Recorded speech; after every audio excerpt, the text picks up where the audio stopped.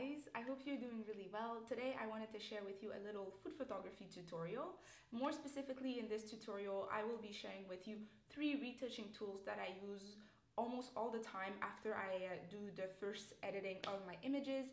These tools are very useful in removing unwanted things in images such as, you know, those extra little crumbs that you don't really want to appear in your photos or even removing air bubbles that might have formed after the baking of a cake, a banana bread, or even muffins. So if those things sound interesting to you, make sure to watch the video from the beginning to the end.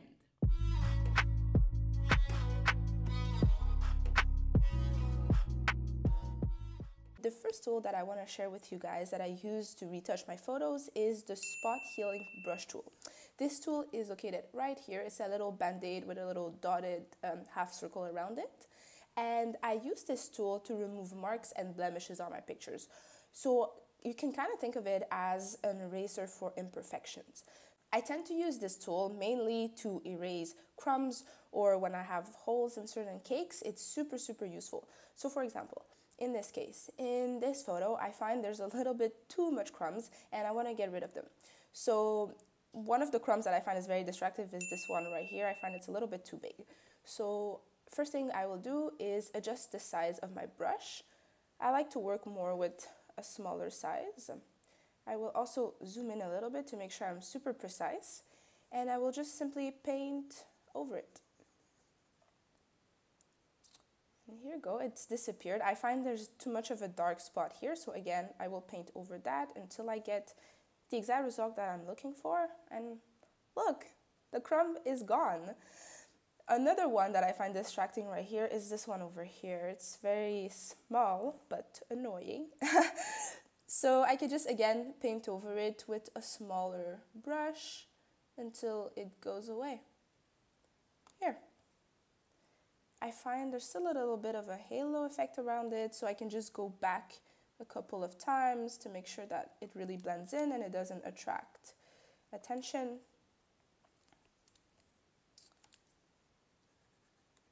Think that's pretty good. And then I find there's still a little bit too much crumbs in front of the cake and under it. This one I find way too big. I'll just erase it. Sometimes you might have to go a couple of times over some things to make sure that they blend in well, but you know, it shouldn't take you more than three or four attempts. A couple of extra ones. You know, in food photography, you want to have a little bit of an imperfect look to your pictures, but sometimes when there's a little bit too much crumbs, it's also a bit distracting from what is really happening. So I find these, this tool is particularly useful to really make sure that my photo is perfectly imperfect while still not being too messy. And here you go, guys. This is the final image and I'm pretty happy with it. I find it's, you know, there's a little bit of crumbs here and there, but it's not too, too much. So let's move to our second image. In this image, I'm going to use a different tool to get rid of this little line right here. I'm going to use the patch tool. And the patch tool is a tool that is very, very useful because what it does is that it allows you to repair a selected area with pixels or information from another area. I know it might sound a little bit scientific and complex, but this tool is very simple to understand. I'll show you exactly how I use it in just a second. First, one of uh, the most common times that I use this tool is in cases like this one, when I have a backdrop that is laying flat on my shooting surface and a backdrop that is standing upward in my shooting area. When I place my backdrops in this way, what often happens is that there's a line that is created in my photo. Usually what I could do to hide that line is to place other elements, like in this case I could have maybe a napkin or a glass of milk or something else in the back to kind of hide this line. But I wanted this image to be very simple and open and to have a lot of breathing space. So I am stuck with this little line. I can use the patch tool to fix it quite simply. All I have to do is select the patch tool and then simply circle that line carefully. From here, all I have to do is click on this selection and basically move it to the area that I want to clone. So I can move it upwards here, because this area has a lot less information, there's no line or anything. And you can see that line has basically disappeared. Again, there's a little part here that was not very well repaired. So I can do the same thing, just move it to the area next to it or above. Here you go. That line has completely disappeared, it's completely blurred out, and it looks really good. It doesn't even look like I had a line a few seconds ago. So this little tool is very useful and I have to say I use it quite often, especially in cases like this one.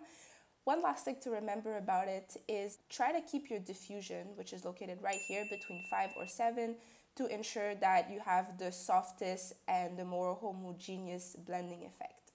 Let's move to our third image where I'm going to use the third and final retouching tool that I use often to do my retouching and that tool is the clone stamp tool right here. This tool is very useful because it allows you to basically take one part of an image and copy it somewhere else. One of the most common ways that I use this tool is when I want to add more crumbs in a photo or when I want to duplicate certain elements. For example, in this photo, let's say there's not enough crumbs right here in the photo. What I can do is that I can basically click the option on my keyboard and then I go around a couple of crumbs on, on the image that I like. I release the option and then I can basically paint those crumbs in another part of my image. Here they are in a different spot. Again, I find that you can see a little bit of the outline and the fact that the backdrop is not exactly the same color. You can go back to the tool I shared with you first, the spot healing brush tool, and just make those little crumbs blend in a little bit better. Another thing that could be really fun in this image is, you know, let's say I look at this photo and I find I don't have a cookie right in this area. It'd be fun to have an extra cookie here. Well, the clone stamp tool can allow us to add a cookie right here without actually having placed one before shooting. So I would select again the clone stamp tool. I would click option on my keyboard and select this cookie. I just basically paint over it, and then I go to the area where I would want this cookie to be placed and I simply paint the cookie into reality. There it is. With the shadow and everything. Here's an extra cookie on my photo. You might think, well, Murielle, you can pretty much tell that it's the same cookie. It's true because there's the exact same little big crack, should I say, on that cookie. There's that little part that is sticking out. And so in order to make it look more different, again, we can go back to the spot healing brush tool to remove some of the things from that cookie that make it look exactly like the other one. So we'll just zoom into our image, select uh, the spot healing brush, and then we can brush over the big crack and make it disappear. Ta-da! Let's try to change the shape of the cookie a little bit, make it more uniform. There you go. The cookie doesn't look exactly the same. And another thing that you can do is basically add more crumbs. So we'll go back to the clone stamp tool, click option, select some crumbs, add those crumbs right here. And then again, here we find I find that the you can tell that it's been cloned. So we can remove some of them with the spot healing brush. Let's remove the big chunks because those are the ones that are the most obvious. And then go back one last time to the clone stamp tool and select crumbs that are in another part of the image. So for example, right here, click option, more crumbs. There you go. Another cookie, more crumbs, and it wasn't like this at the beginning. Final thing in this image that I noticed that I is kind of bothering me a little bit is this line here. It's actually a shadow from my tripod. I will use again the spot healing brush tool because as we remember, it basically erases imperfections. We'll make it a little bit bigger and then we'll simply paint over that shadow.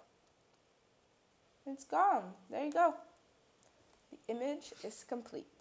So that's it you guys. I hope you enjoyed this little video and learned a thing or two. If ever you did, make sure to like it, uh, share, subscribe to this channel if you are interested in more content like this. And uh, I hope you have a beautiful rest of your day.